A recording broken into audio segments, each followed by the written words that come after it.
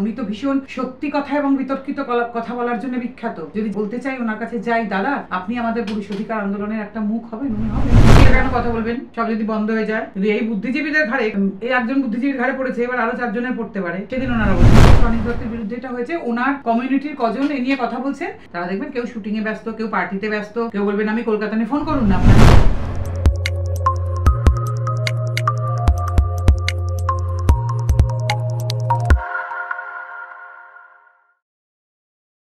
তৃণমূলের বিরুদ্ধে প্রতিবাদ করা এখন আমরা দেখতে পাচ্ছি, অনেক দত্তের বিরুদ্ধে শ্লীলতাহানির মামলা এসছে।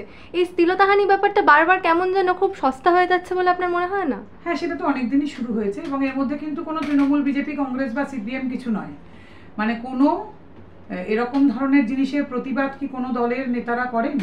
যদি তাদের নিজেদের গায়ে এসে লাগে, তারা কি হয়? তাদের কাছে পাওয়ার আছে, টাকা পয়সা আছে কন্ট্যাক্ট আছে, সেটা দিয়ে ওনারা বেরিয়ে যান। কিন্তু সাধারণ মানুষ, সাধারণ পুরুষ মানুষ, হাজার হাজার এরকম শ্লীলতাহানি, বাবা, ভাই, দাদা, কাকা, পিসেমশাই, মেসমশাই, এমনকি দাদু, তারাও এতে মানে সাংঘাতিকভাবে বিব্রত আমাদের কাছে আসছেন, তারা কোথায় যাবেন? আর সবচেয়ে লজ্জা লাগে যে ওনারা কিন্তু এ থেকে বেরিয়ে যাওয়ার পর এটা নিয়ে কিন্তু সোচ্চার হন না। অনেক জাজেরাও তো এতে হন। আশা করা কি যায় যে তিনি যদি এটা থেকে বেরোতে পারেন, তিনি এটার বিরুদ্ধে জাজমেন্ট দেবেন? এটার বিরুদ্ধে কলম ধরবেন, এটার বিরুদ্ধে কথা বলবেন। না, ওনারা কিন্তু তারপরে সেটা করেন না। ওনারা নিজেদের প্রভাব, প্রতিপত্তি, টাকা খাটিয়ে সেটা থেকে বেরোলে আবার কিন্তু সেই জায়গাতেই ফেরত চলে যান। ওনারা কিন্তু তার বিরুদ্ধে লড়ার, কিন্তু ওনারা তো সেই জায়গাটায় পৌঁছন যে সেখান থেকে ওনারা লড়তে পারবেন। আইনের জন্য সওয়াল করবেন, কোনোদিন করেছেন? এটা তো প্রথম হয়নি। প্রচুর ফিল্ম স্টার প্রচুর খেলোয়াড়, প্রচুর রাজনৈতিক নেতা লেখক, অনেক লোকের জীবন নষ্ট হয়েছে। অনেক লোকের সম্বন্ধে এগুলো হচ্ছে, কিন্তু তারা তারপরে বেরিয়ে একটা লাইনও লিখেছেন, তারা ভয় পান।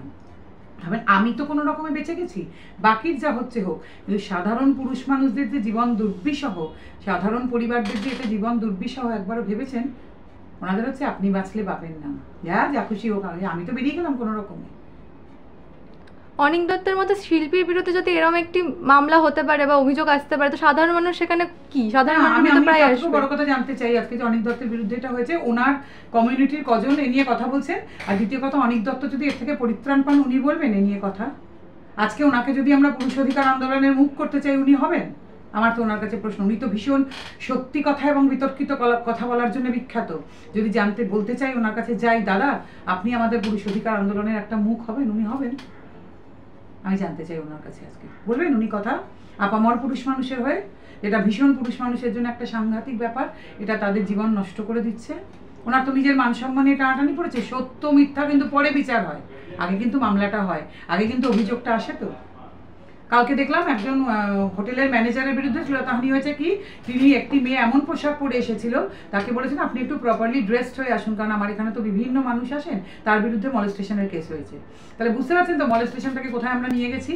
ঠিক এভাবে ফোন নাইনটি এইটটাকে কিন্তু নিয়ে এসে ফোন নাইনটি এইট এ করতে বাধ্য হয়েছেন সবাই। মুড়ি মুড়কি করে দিয়েছিলাম। আজকে কিন্তু মলেস্টেশন, রেপ সব জায়গায় সেটাকেও নিয়ে যাচ্ছি। পক্সোটাকেও নিয়ে যাচ্ছি। করে ক্ষতি কিন্তু পুরুষ মানুষের থেকে মহিলাদেরই বেশি হচ্ছে। কারণ সত্যিকারের যে মহিলাগুলোর এটা হচ্ছে, তাদেরটা আর কেউ পাত্তা দেবেন না।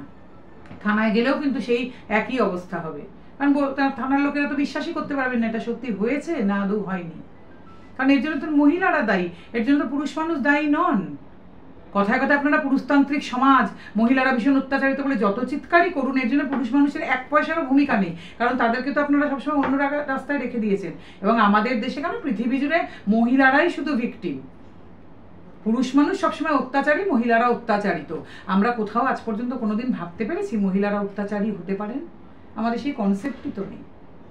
আর তার জন্য পুরুষ মানুষের প্রচুর দোষ আছে। বললাম তো আজকে যারা যারা শিকার হচ্ছেন, তারা পরবর্তীতে বেরিয়ে, আমি সাধারণ পুরুষের কথা ছেড়ে দিচ্ছি, বরং তারা অনেকেই এগিয়ে এসে আন্দোলনে সামিল হচ্ছেন। এই যে অসাধারণ পুরুষ যারা, তারা কেউ এই আন্দোলনের মুখ হতে রাজি হবেন? একটা কথাও কেউ বলেন কোনোদিন? এত বছর ধরে যে আমাদের আন্দোলনটা চলছে, কোনোদিন তারা একটা সাপোর্ট করে কথা বলেছেন? সাহস আছে তাদের? দম আছে কারুর? একটা কবিতা লেখার, একটা ছবি বানাবার, একটা গান লেখবার, আছে সাহস? রাজনৈতিক নেতাদের সাহস হলো এই যে বিএনএসটা নতুন করে চালু হতে যাচ্ছে, সেটাকে বদলাবার?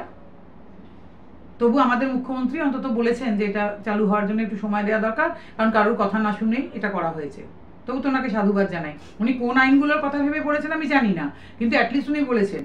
বিএনএস কি একটা কিছু হয়েছে নাকি? এটা ন্যায় যেখানে কি এই একটা ইন্টারভিউ দেখলাম কদিন আগে মহিলারা বসে বলছেন যে বিয়ে ব্যাপারটা উঠিয়ে দিলেই ভালো, তিন, চারজন করে স্বামী থাকলে ভালো হয়।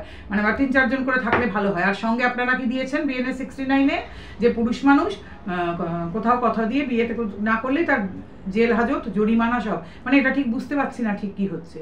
মানে পুরুষ মানুষ কাউকে একটা যদি কথা হয়ে, সম্পর্ক হয়ে যায়, সেখানে নাকি বিয়ের কথা হলেই তা, সেটা বিয়ে না হলেই তাকে এটা করতে পারে। মহিলারা বসে ইন্টারভিউ দিচ্ছেন, বিয়ে ব্যাপারটা তুলে দিলেই ভালো হয়। তিনজন, চারজন করে থাকাটাই তো ভালো। আমি জানতে চাই আমি বিদেশের কথা ছেড়ে দিলাম। ভারতবর্ষের বুকে কোনো একটা ইন্টারভিউ বোধহয় ওটা কোনো টিভি রেডিও চ্যানেলের ইন্টারভিউ ছিল, যে ভারতবর্ষের বুকে কোনো পুরুষ মানুষকে কোনো পুরুষ মানুষের এরকম ইন্টারভিউ করার দম হবে? যে পুরুষরা বসে এই কথা বলবেন বিয়ে ব্যাপারটা তুলে দিলেই ভালো হয়। আসলে তিন চারজন নারী জীবনে না থাকলে একসঙ্গে ঠিক সুবিধা হয় না। পারবেন? এর আগেও তো অনেক ফিল্ম স্টাররাও বলেছে, শুনেছি। যে আমার তিন চারজন না হলে ভালো লাগে না। তা পুরুষ মানুষের ক্ষমতা হবে এখানে? যে কোনো পুরুষ মানুষের। একজন তো বলেছিলেন একটা শোতে এক খেলোয়াড়, তাই নিয়ে কি সাংঘাতিক ব্যাপার। হবে, কোনো পুরুষ মানুষরা বলতে পারবেন এই কথা। তাহলে আমি জানতে চাই, মহিলাদের, আর এটাকে তো আবার আখ্যায়িত করা হবে, মহিলাদের এম্পাওয়ারমেন্ট এবং মাই লাইফ মাই চয়েস বলে। তা পুরুষ মানুষের মাই লাইফ মাই চয়েস কিছু নেই। মেন এম্পাওয়ারমেন্ট বলে কিছু নেই। মানে সেখানে তো এদিকে আপনারা সারাক্ষণ বলেন নাকি পুরুষতান্ত্রিক সমাজ। তাই মানে পুরুষতান্ত্রিকতা কোথায়? আরে মশাই একটা দিকে থাকুন। আমি ডান দিকেও রই আমি বাম দিকেও রই এ করে আর কতকাল কাটবে? কোনো একটা দিকে থাকুন আপনারা। বুদ্ধিজীবীরা এই বিষয়ে কেন সরব? কেন কথা বলবেন? সব যদি বন্ধ হয়ে যায়। কিন্তু এই বুদ্ধিজীবীদের ঘাড়ে এই একজন বুদ্ধিজীবীর ঘাড়ে পড়েছে, এবার আরও চারজনের পড়তে পারে। সেদিন ওনারা বোঝেন। কিন্তু ওনারা তখন কি করেন? নিজেদের যেটুকু ক্ষমতা আছে, অলিতে গলিতে, অলিন্দে সেই ক্ষমতা দিয়ে বেরিয়ে আসার চেষ্টা করে। এসব কিছুই করা হয়। কিন্তু তারপরে কিন্তু ওনারা ভাবেন না যে এটা নিয়ে সাধারণ পুরুষের জন্য আমাদের গলা তোলার দরকার আছে। আমি বেঁচে গেছি, ঠিক আছে। আমি বললাম তো ওনারা কেউ তারপরে পুরুষ অধিকার আন্দোলনের জন্য একটা কথা বলবেন? আছে ওনাদের দম কথা বলার। কিছুদিন আগে একটা ঘটনা ঘটলো, এটা আমি অঞ্চলের নাম করতে চাই না, এক ভদ্রলোকের নিজের বাড়ি তা একটি ছেলে এসে সেখানে জবরদস্তি করতে তার ভাড়াটা ছিল, সে নাকি ওই বাড়িতে থাকবে, আর সেখানে গিয়ে তাকে শাসাচ্ছেন ওই কারা? সেই বাড়িওয়ালাকে একটি হিউম্যান রাইটসের একটি অর্গানাইজেশন তার আবার একজন মহিলা মাথা, তিনি আবার গিয়ে শাসাচ্ছেন। বলছেন কি জানেন? বলছে, যদি না ঢুকতে দেন এই ছেলেটিকে, আমরা কিন্তু আপনার নামে এমন এমন কেস করে দেবো, ভাবতে পারছেন আপনারা, আমরা মহিলা, বুঝতে, চিন্তা করতে পারবেন না, আমরা কি কি করতে পারি? মহিলারা কোথায় পৌঁছেছেন আপনারা ভাবতে পারেন? দয়া করে আবার মহিলাদের বলছি ভাববেন না সব মহিলাকে বলছি, কারণ আপনাদের তো আর কোনো কাজ নেই, আমার ইন্টারভিউ দেখলেই আপনারা তারপরে বলতে শুরু করেন, মোটেই সব মহিলার, না, কবে আমি বলেছি? বড় উল্টোটা বলে যাচ্ছি, এই একদল মহিলার জন্য বাকি মহিলাদের জীবন দুর্বিষহ করে দিচ্ছেন আপনারা। যারা সত্যিই রেপ্ট যারা সত্যি শ্লীলতাহানির শিকার যারা সত্যিই পক্সতে ভুগছেন যেসব বাচ্চা বাচ্চা মেয়ে তাদের আর কোথাও যাওয়ার জায়গা রাখছেন না। আপনাদের এই ন্যাক্কারজনক কাজগুলোর জন্য। আপনি হিউম্যান রাইটস অ্যাসোসিয়েশন করে আপনি লোককে গিয়ে ধমকাচ্ছেন যে এখানে যদি ওকে থাকতে না দেন তাহলে এমন এমন কেস করে দেবো না চিন্তাও করতে পারবেন না। নন্দীগ্রাম সিঙ্গুর এইসব ইস্যুতে বুদ্ধিজীবীরা সরব হচ্ছে কিন্তু এই ইস্যুতে বুদ্ধিজীবীরা কবে সরব হবে? তখন সরব হয়েছিলেন। আজকে সন্দেশখালীতে কজন বুদ্ধিজীবী সরব হয়েছেন? ওনারা ইস্যু বুঝে বুঝে সরব হন। ওনারা ঘটনা বুঝে বুঝে কথা বলেন। রাস্তায় নামেন, মোমবাতি মিছিল করেন। ওনারা ঠিক সব জায়গায় করেন না, এটা বুঝতে হবে। ওনাদের সব জায়গা আছে করার। ওয়েস্টেড ইন্টারেস্ট আছে, যেখানে ওনাদের বোঝেন, এখানে সরব হলে সুবিধা হবে কিছু। সব সুবিধাই তো আর মানিটারি নয়। সেখানে করেন প্রতিবাদ, সেখানে সব কথা বলেন। কোনোদিন কোনো পুরুষ মানুষ এই তো কদিন আগে একটি ছেলে মারা গেল। কদিন আগে বাড়ার সাথে একটি ছেলে মারা গেছে। তা কি? তার শ্বশুর বাড়ি থেকে কিন্তু কনস্ট্যান্ট তার জন্য টাকের টাকা চাওয়া হতো, সেটা পণ নয় তখন। পণ তো শুধু ছেলের বাড়ি চায়। ছেলেটির বাবা মারা গেছে তিন মাস আগে। আমরা সেখানে গিয়েছিলাম, সেই কাজটি আমরা করছি। ছেলেটি, সেই টাকা মানে এত চাপ, মেয়ের বাড়ি থেকে তার নিজের শ্বশুর বাড়ি থেকে আত্ম না পেরে আত্মহত্যা করল। একমাত্র ছেলে মায়ের মায়ের এখন কি অবস্থা বাড়ার সাথে? নাম বলতে চাই না এখানে বসে। কোথায়? তখন কে সরব হয়েছে? কে জানেন আপনারা? আর যদি জানেনও সরব হবেন, তখন বলবেন, এইটা যদি একটা মেয়ে হতো সোশ্যাল মিডিয়া জুড়ে গেল গেল রব। বা এরকম তো অনেক ছেলেরা তো মারা গেছেন অনেকে।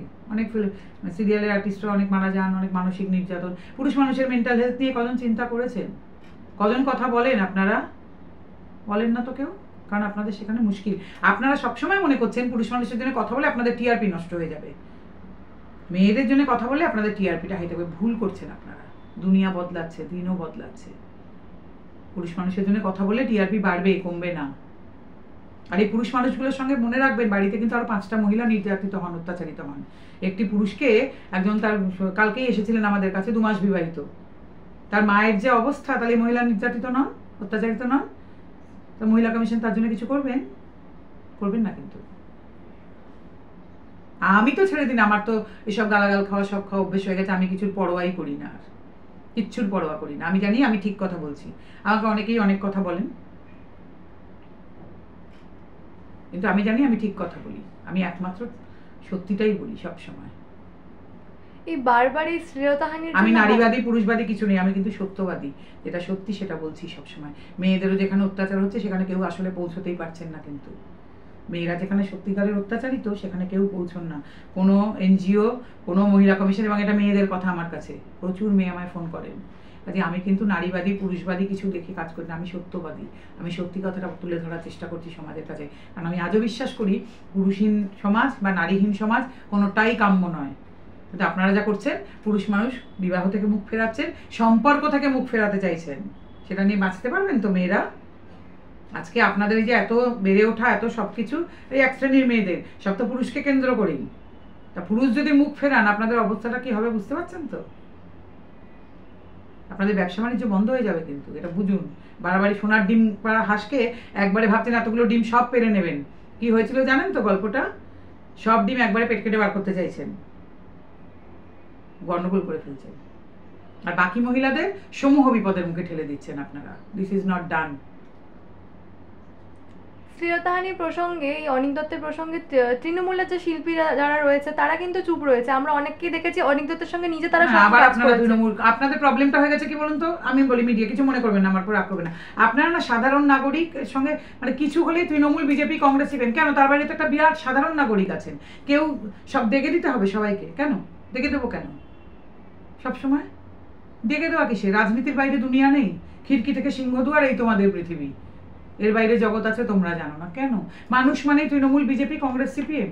তার বাইরে মানুষ নেই। প্রচুর বড় একটা মানুষ আছে প্রচুর বড় একটা জনগণ, যারা এগুলো কিচ্ছু নয়, যারা একটু সুস্থ, স্বাভাবিকভাবে বেঁচে থাকতে চান।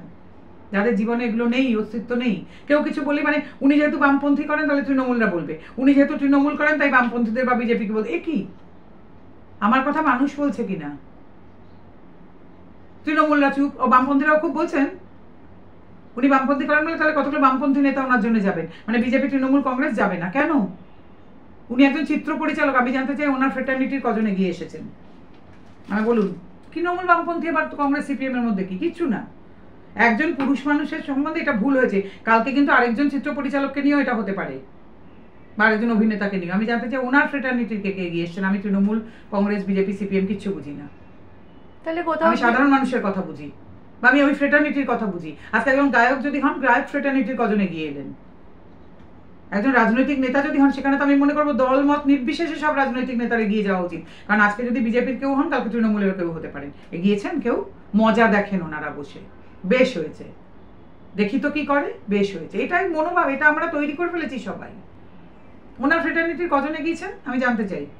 আমি ওসব বুঝি না, বামপন্থী তৃণমূল এসব কিচ্ছু বুঝি না। আমি জানতে চাই ওনার ফ্রেটার্নিটি থেকে কে কে এগোলেন চলচ্চিত্রে? উনি তো একজন নামী চলচ্চিত্র পরিচালক, ওনার কিছু কিছু ছবি তো মানে কি বলব দেশকাল গণ্ডির সীমা ছাড়িয়ে গেছে। একটা ছবি তো অন্তত তাই, যেটা বারবার দেখলেও পুরনো হয় না। আমি জানতে চাই ওনার ফ্রেটার্নিটি থেকে কে কে এলেন? কজন নায়ক, কজন পরিচালক, কজন প্রযোজক এগিয়ে এসছেন ওনার জন্য? সেই চিন্তাটা করতে হবে আমাদের। এর মধ্যে অকারণ তৃণমূল বিজেপি সিপিএম কংগ্রেস ঢুকিয়ে লাভ নেই। সব কিছুতে রাজনীতি করাটা না আমাদের স্বভাব হয়ে গেছে। তার জন্য আমরা মানবতার মুখোশটাও হারিয়ে মানে মুখ থেকে আমাদের সরে যাচ্ছে। হুম? চলচ্চিত্র জগতে যে কেউ এগিয়ে আসছেন তারা কিসে ভয় পাচ্ছে? তারাও কি এই অভিযোগ পরবর্তী পারে? হয়ে যায়। বা আমি বাবা যাব না। কিন্তু মুশকিলটা কি বলুন তো আমি বাবা যাব না আর এই যে কেসটা না করতে করতে যেদিন আপনার উপর আসবে সেদিন কিন্তু আপনার পাশে দাঁড়াবার জন্য আর কেউ থাকবে না। আমরা উল্টোটা করতে চাইছি, আমরা পুরুষ মানুষকে সংঘবদ্ধ করতে চাইছি। আমাদের এখানে প্রথম শিক্ষাটাই যে আপনার যদি বেরিয়েও যান কেস থেকে, অন্য পুরুষের পাশে দাঁড়ান। বা আপনার কেস আছে তো কি হয়েছে? জীবন শেষ হয়ে গেছে নাকি? আপনি চেষ্টা করুন আরও তিনটে ভিকটিম পুরুষের পাশে দাঁড়াবার। তবেই আন্দোলন সংঘবদ্ধ হবে। মেয়েরা কিন্তু এভাবেই সব কিছু পেয়েছেন। মেয়েরা দেখবেন এরম জেনারেলি করে না। একজন মেয়ে যদি এরম কিছুতে হয় না, অন্য মেয়েরা পাশে এসে দাঁড়ায় কিন্তু। হয়তো দেখবেন ওনার পাশে তিনজন অভিনেত্রী চলে আসবেন। না অনিক দত্ত এরম নন বলে। পুরুষরা আসবেন না, আমি বলছি তো। আমি পুরুষ অধিকার কর্মী, আমি জানি। আর এর মধ্যে কোথাও রাজনীতি না আনার চেষ্টা করাই ভালো। উনি একজন চলচ্চিত্র পরিচালক, আমাদের দেখতে হবে। ওনার, কেন ওনাদের তো এত এত ইয়েও রয়েছে, ওই সংস্থাও রয়েছে, যে যারা মানে ওই চলচ্চিত্র পরিচালক, অভিনেতা, অভিনেত্রী, তাদের তো ফেডারেশন সব কিছু থাকে। তারা কি বলছেন? এগুলো জানতে হবে আগে। তারা কেন পাশে দাঁড়াবেন না? জানতে চাই তারা কেন পাশে দাঁড়াবেন না? তাহলে তারা কবে কাজে আসবেন? বড় বড় গালভরা নাম, তারা কবে কাজে আসবেন আমাদের তো এই যে বললাম, আজকে বাড়ার সাথে একটি ছেলে যখন এরকম হচ্ছে আমাদের সংস্থা ছুটে যাচ্ছে। কাকুর কাছে তো একটি হয়েছে, অন্য আরেকটি সংস্থা দৌড়ে যাচ্ছে। আমরা তো এগুলো করছি। যে যেমনভাবে পারি একে অপরের পাশে থাকছি, ছড়িয়ে দেওয়ার চেষ্টা করছি। কালকে আমাদের চন্দননগরে একটি ছেলেকে বিচ্ছিরিভাবে হ্যাকেল করা হয়েছে। আমরা তো সবাই সেটা লেখালেখির চেষ্টা করছি। কেন? তো ওনারা কেন পারবেন না এটা করতে? ওনাদের ক্ষমতা তো আমাদের থেকে অনেক বেশি। আমরা কিন্তু ইভেন সোশ্যাল মিডিয়াতে যদি করা হচ্ছে, আমরা একে অপরের প্রতি ঝাঁপিয়ে পড়ছি। তো ওনারা কেন পাচ্ছেন না? ভেস্টেড ইন্টারেস্ট এই না হলে কিন্তু কিচ্ছু হবে না। এরকমই চলতে থাকবে, এটাও বলে দিলাম। আমরা খুব সামান্য কাজ করি, আমরা খুব ছোট। আমাদের কেউ চেনেও না, আমরা খুব ছোট। কিন্তু আমরা কিন্তু চেষ্টা করছি একে একে অপরের পাশে দাঁড়িয়ে লড়ে যাবার। খুব ছোট আমরা, কিন্তু আমরা লড়ে যাওয়ার চেষ্টা করছি একে অপরের পাশে দাঁড়িয়ে। যেসব অভিনেতা অভিনেত্রী অনেক দত্তের সঙ্গে কাজ করেছেন তাকে ব্যক্তিগতভাবে চেনেন এসছেন? তাদের তো এগিয়ে আসা উচিত। এসছেন? তারা এগিয়ে? না না। তারা দেখবেন কেউ শুটিংয়ে ব্যস্ত কেউ পার্টিতে ব্যস্ত কেউ বলবেন আমি কলকাতা ফোন করুন না আপনারা। বলবেন আমি কলকাতায় নেই আমার অমুক মারা গেছে এখন কথা বলার অবস্থায় নেই। আমি তো বললাম আপনাদের আপনারা ফোন করুন। আপনারা তো মিডিয়া আপনারা ফোন করুন দেখুন না ওনারা কি বলেন। কিন্তু আমরা কেউ বলব না। আজকে কোথাও একটা পুরুষের কিছু হয়েছে ফোন করুন না আমাদের পুরুষ অধিকার কর্মীদের। আমরা কিন্তু ঠিক বলব কথা। ধন্যবাদ ম্যাম